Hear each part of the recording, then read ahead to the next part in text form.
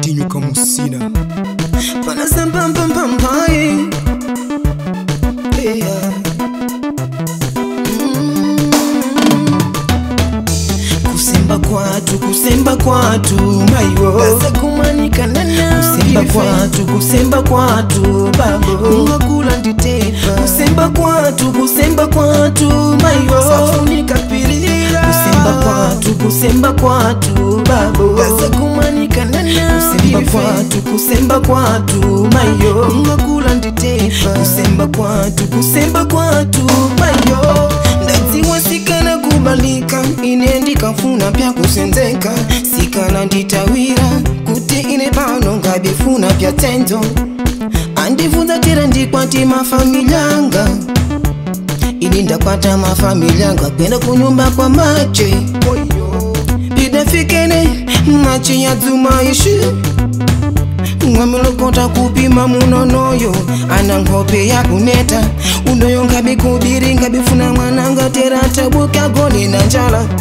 maine ndikufuna longa tadzwala kunditusa nasipanda timatama maiwe ndine pano ndazakopa mtima palopalo tatwala andibvunza kuti ndininyagulira ati ngabe kwanisa kula nswala ng'ombe maiwe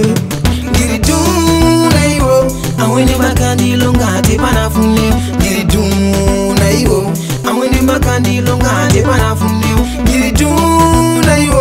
amwene makandilo ngati panafune ndilitunaiwo amwene makandilo ngati panafune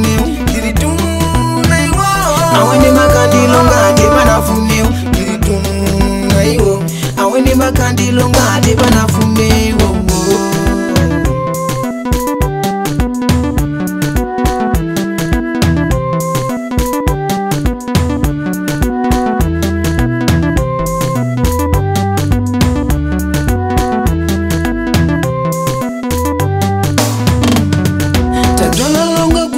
fika nzidzi yako tera wende chinchinulonga